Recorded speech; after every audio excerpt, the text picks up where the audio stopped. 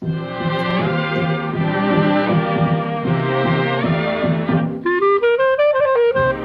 and welcome to Memery. Today I would like to show you my Edwardian style Memery boots. The first one I will show you is Victoria. The boot is inspired by boot from around 1900 to 1910.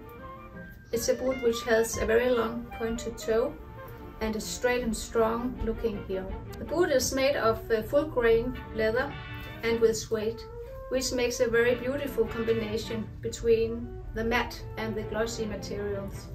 The boot is a slim fitting silhouette and it has a lot of eyelets for the long shoelaces. This is an original boot from the same period. As you can see, it has the same straight, strong heel and a very long pointed toe. Victoria comes in this warm, beautiful cognac brown color, but it's also available in a black version in the exact same materials. This is Rose. This is an Edwardian inspired boot from around 1900 to 910.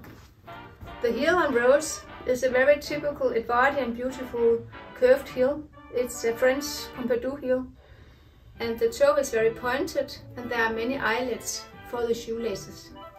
Here I have an original boot from the same period. It has this very beautiful French Pompidou heel and also this very pointed long toe. The rose is in this very beautiful black color but it also comes in a cognac brown color like this.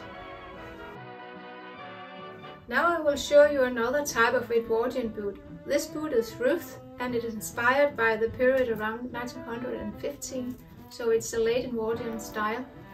Uh, the shoe is very comfortable for everyday use. It has a low heel and a round toe. It's made of calfskin, which makes it very soft and comfortable. And it has a lot of eyelets for the shoelaces. Here I have an original boot from the same period. As you can see, it's quite similar in the shape and the type of heel. Ruth comes in this black color, but I also have this cognac brown version and it's made of uh, full grain leather, which is more smooth. This is Britta. The boot is inspired by the Edwardian period, but the design is also very classical and could also represent the 20s or 30s. It's an ankle boot and it has a 3.5 high heel and round toe. The material is full grain leather with a shiny and smooth surface. The shoelace is made of ribbon.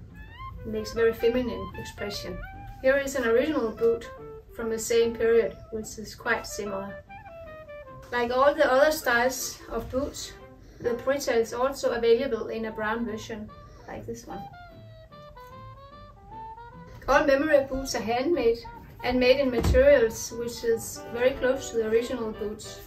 This was my Edwardian boots, and thank you so much for watching. I hope to see you another time.